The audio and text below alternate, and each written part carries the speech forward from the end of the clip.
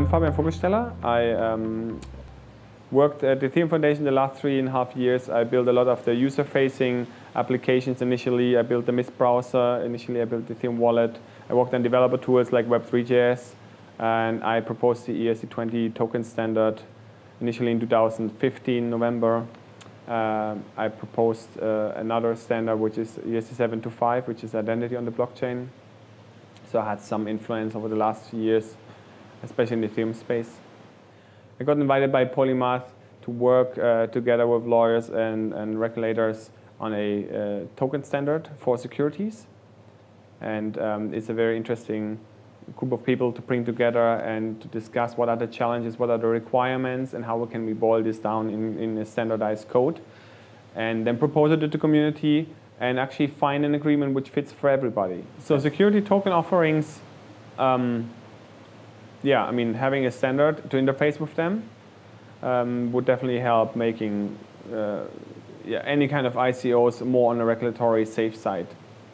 And it also gives us a lot of more ability to um, to basically bring the institutional investors who want to invest in tokens, who are right now standing at the sideline looking, actually be willing to in, in invest in that. And also showing the regula regulator, hey, yes, we can actually give you the tools, to order that in the right way and to have kind of like uh, some influence on the right way. So when it's about standard, I think the most important thing is to standardize things where we need interoperability, which is obviously on the user interfaces level, like wallets, exchanges, tools which need to interact with these things, and standardize also on, on, on how these things operate together so the token standard, for example, is a really good example of how we created a huge amount of synergy just because we defined, hey, how does a token smart contract looks like? And because everybody follows those rules and they can use these tokens in exchanges, we can use them in all kind of wallets, we can uh, uh, have all of this interoperability. At the same time, we have all the flexibility because a standard only defines the interface. It doesn't define how it works internally meaning you get a great amount of flexibility and, and variation possibility at the same time it works everywhere. So for security tokens, um, I can see that there's a lot of regulatory requirements and a lot of regulatory input uh, and tools which need to interface with those um, regulated tokens. So standardizing those will help the regulatory to interact with those, will help the, the, uh, the KYC providers to interact with those, will help any kind of tools and exchanges to interact with those and validate those tokens.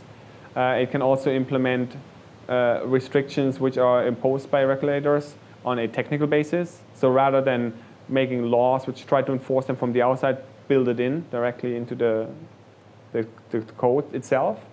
So you basically can auto-regulate on the blockchain. And I think that is anyway the future that we move more and more of these kind of like um, regulations we have, which are ultimately there to protect the investors, who will protect the participants in an ecosystem, but build that into code. Basically, regulate on the smart contract level and regulate in the right way. And the security token standard is definitely a, a good start. So we will here this weekend uh, talk about creating such a standard, finding the right functions, finding what works best for everybody, um, make it as flexible as possible, but define like the basic standards so that regulators, providers, uh, KYC providers, uh, uh, legal requirements all have the interface and the tools to interact with it. And everybody in the outside can also verify that this is happening the right way.